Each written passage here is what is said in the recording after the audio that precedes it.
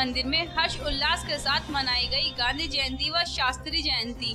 दयानंद बाल विद्या मंदिर में हर्ष उल्लास के साथ गांधी जयंती व शास्त्री जयंती मनाई गई, जिसमें सुबह आठ बजे विद्यालय के पूर्व प्रबंधक अखिल जेतली द्वारा झंडारोहण किया गया।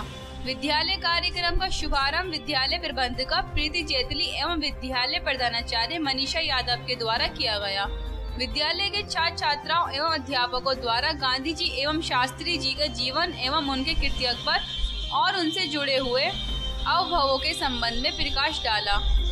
इस मौके पर विद्यालय की प्रबंधिका प्रीति जेटली एवं प्रधानाचार्य मनीषा यादव ने बच्चों को संबोधित करते हुए कहा कि गांधी जी का जन्म दिवस अहिंसा दिवस के रूप में मनाते हैं। उनके महान योगदान और त्याग के लिए लोग उन्हें महात्मा गांधी के नाम से जानते हैं। गांधी जी ने दुनिया और सत्य और अहिंसा का जो संदेश दिया है, उसे दुनिया के करीब करीब सभी देश मानते हैं।